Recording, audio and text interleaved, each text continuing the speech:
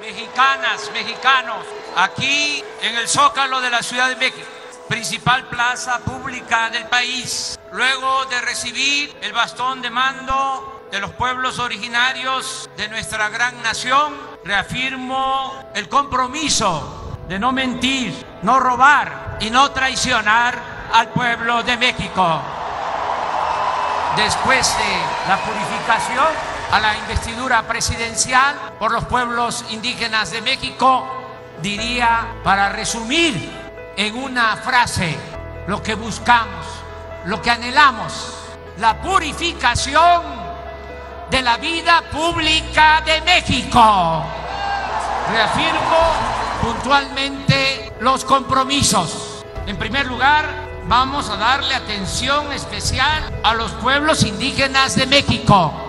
Es una ignominia, una vergüenza que nuestros pueblos originales vivan desde hace siglos bajo la opresión y el racismo, con la pobreza y la marginación a cuestas. Por eso, todos los programas del gobierno tendrán como población preferente a los pueblos indígenas de las diversas culturas del país. Se protegerá el patrimonio cultural de México. Se impulsará la formación artística desde la educación básica y se apoyará a creadores y promotores culturales. Se construirá el tren Maya para comunicar por este medio de transporte rápido y moderno a turistas y a pasajeros nacionales. También va a haber un tren de carga que va a utilizar esa misma vía. Va a utilizarse esa vía nueva para tres cosas. Para un tren rápido, para el turismo, porque se trata de la región con más potencial turístico del país, porque es la región